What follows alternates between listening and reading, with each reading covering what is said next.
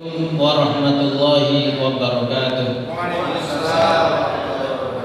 Bismillahirrahmanirrahim. Kami Forum Silaturahim Pondok Pesantren Provinsi Banten setelah melakukan pengkajian terhadap rancangan Undang-Undang Cipta Kerja Omnibus Law menyatakan bahwa pondok pesantren haruslah keluar dari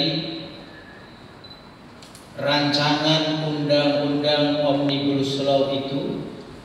Pondok pesantren harus dirawat dengan semangat independensi semangat kemandirian semangat untuk membangun dan mencerdaskan umat secara independen.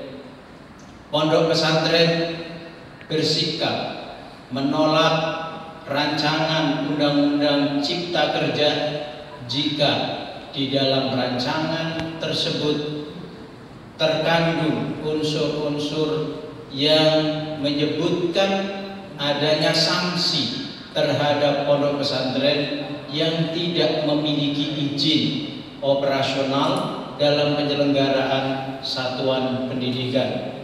Forum Silaturahim Pondok Pesantren beserta umat siap untuk bergerak mengawal kepentingan pondok pesantren dalam rangka mencerdaskan kehidupan bangsa sesuai dengan amanat konstitusi Undang-Undang Dasar 1945. Demikian banyak pernyataan sikap dari Forum Silaturahim Pondok Pesantren Provinsi Banten. Bila taufiq wal hidayah. Assalamualaikum warahmatullahi wabarakatuh.